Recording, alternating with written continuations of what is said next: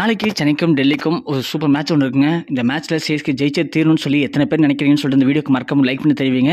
அதோட இப்போதைக்கு பிளே ஆஃபில் யாருமே பார்க்காத ஒரு மிகப்பெரிய அதிசயம் நடந்துட்டுருக்கு. அதுலேயும் குறிப்பாக சிஎஸ்கேவுக்கு இத்தனை தொல்லைகளா அப்படின்னு சொல்லி எல்லாருமே இப்போ ரொம்பவுமே சோகத்தில் மூழ்கிருக்காங்க அதாவது பிளே ஆஃப் சுற்றுக்கு யார் போக போகிறா அதுவும் குறிப்பாக ஐபிஎல்ல பிளே ஆஃப் சுற்றுக்கு ரெண்டு அணி நான்கு அணி அஞ்சு அணி போடும் ஆனால் இப்போ பத்து அணிகளுமே பிளே ஆஃப் சுற்றுக்கு போராடிட்டு இருக்காங்க. குஜராத் அணி பார்த்துருப்பீங்க. புள்ளிப்பட்டியில் பதினாறு பாயிண்ட் எடுத்திருக்காங்க.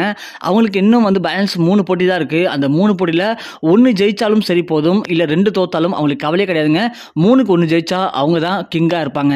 அதே மாதிரி ரெண்டாவது இடத்துல நம்மளோட சிஎஸ்கே இருக்குது புள்ளிகள் பதிமூணு புள்ளி எடுத்திருக்காங்க. இன்னும் மூணு போட்டி இருக்குது அந்த மூணு போட்டியில் ரெண்டு கண்டிப்பாக ஜெயிச்சு தினும் அந்த ரெண்டு ஜெயிச்சா மட்டும் தான் நம்ம பிளே போகிறதுக்கு எந்த பிரச்சனையும் இருக்காது. ஆனால் ரெண்டில் ஒன்று தோத்தாலும் சரி நமக்கு மிகப்பெரிய சிக்கல் ஏற்பட வாய்ப்புகள் இருக்குது அதே மாதிரி லக்னோ அணி பதினோரு பாயிண்ட் வச்சிருக்காங்க. அவங்களுக்கு இன்னும் மூணு போட்டி இருக்குது மூணில் இப்போ கண்டிப்பாக அவங்க ரெண்டில் ஜெயிக்கணும். அட்லீஸ்ட் மூணுலேயே ஜெயிச்சே தீரணும்.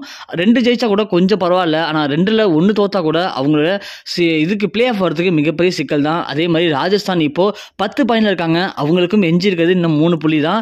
ஸோ இந்த மூணு பாயிண்ட்ல அதாவது மூணு போட்டியில் மூணு பாயிண்ட்டும் அவங்க எடுத்து தரணும். அதில் தோல்வி அடைஞ்சாங்க அப்படின்னா அவங்களுக்கு கீழே இருக்க அணியை பொறுத்து அவங்க வெளியில் போகிறது அதிகமான வாய்ப்பு இருக்குது அதே மாதிரி கொல்கத்தா இப்போ பத்து புள்ளி வச்சிருக்காங்க.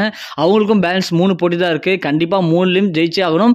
மூணில் ஒன்று தோத்தா கூட அவங்க மேலே வரதுக்கு ஒரு சிக்கலாயிடும். இப்போதைக்கு அதிகமான ரசிகர் மத்தியில் எதிர்பார்ப்போட போயிட்டு இருக்குது பெங்களூர் அணி. அவங்களும் பாயிண்ட்ல பத்து பாயிண்ட் வச்சிருக்காங்க. இன்னும் அவங்களுக்கு நான்கு போட்டி இருக்கு. நாலில் மூணு ஜெயிச்சாலே போதும். ஏன்? ரெண்டு தோத்துட்டாங்க அப்படின்னா சிக்கலா போயிடும். மூணு ஜெயிச்சிட்டாங்க அப்படின்னா கண்டிப்பா ப்ளே ஆஃப் வருது. உறுதியாயிடும். அதே மாதிரி கடைசிக்கு போன பஞ்சாப் அணி பத்து பாயிண்ட் வச்சிருக்காங்க. அவங்களுக்கு மூணு போட்டி இருக்கு. மூணுல மூணு டீம் ஜெயிச்சா மட்டும்தான் அவங்க ப்ளே ஆஃப் வர முடியும். ஒன்று தோத்தா கூட அவங்களுக்கு சிக்கலா போய் முடிஞ்சிடும். அடுத்தது மும்பை அணி. ஸோ மும்பை கண்டிப்பா வந்தே திரும்ப சொல்லி எல்லாம் எதிர்பார்த்தாங்க. அவங்க பத்து பாயிண்ட் வச்சிருக்காங்க. இன்னும் அவங்களுக்கு நான்கு போட்டி இருக்கு. நாலில் மூணு ஜெயிச்சிட்டாலே போதும். அவங்க கண்டிப்பா ப்ளே ஆஃப் வருது. உறுதியாயிடும். இப்போது கடைசியில் போய் பார்த்தோம்னா ஹைதராபாத் டெல்லி. ஸோ இவங்க ரெண்டு பேரும் எட்டு எட்டு பாயிண்ட் வச்சுருக்காங்க. இன்னும் நான்கு பாயிண்ட் இருக்குது அது நாலு போட்டி இருக்குது நாலுமே ஜெயிச்சிட்டாங்க அப்படின்னா தொடர் வெற்றியாக இருக்கும். அதோட அவங்களும் பிளே ஆஃப் சுட்டு வந்துருவாங்க. இப்படி ஐபிஎல் வரலாற்றில் பத்து டீம் கிட்டத்தட்ட பிளே ஆஃப்காக இப்போதைக்கு குவாலிஃபைக்காக வெயிட் பண்ணிட்டு இருக்காங்க.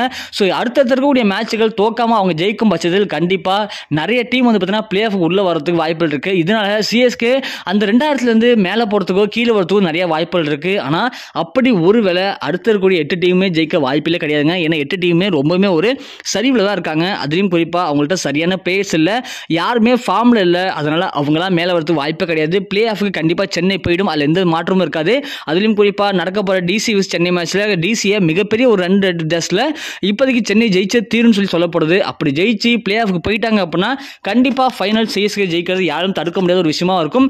அப்படி சிஎஸ்கேவுக்கு அந்த அளவுக்கு போட்டியாக வந்து நிற்கப்பட்ட டீம் எது? அதுலேயும் குறிப்பாக ஜிடிக்கும் சிஎஸ்கேக்கும் சுத்தமாக செட்டே ஆகலைங்க. ஜிடி ஜிடி சிஎஸ்கே பீட் பண்ணிட்டு தான் இருக்கு. ஒருவேளை ஃபைனலில் ஜிடியும் சிஎஸ்கேவும் மோதுற மாதிரி ஒரு சுச்சுவேஷன் அமைஞ்சது அப்படின்னா கண்டிப்பாக ஜிடிஎஸ் சிஎஸ்கே பீட் பண்ணுமா? கப்பை வாங்குமா? உங்களுடைய கருத்து என்ன? கீழே மறக்காமல் கமெண்ட் பாக்ஸ் தெரியப்படுத்துங்க.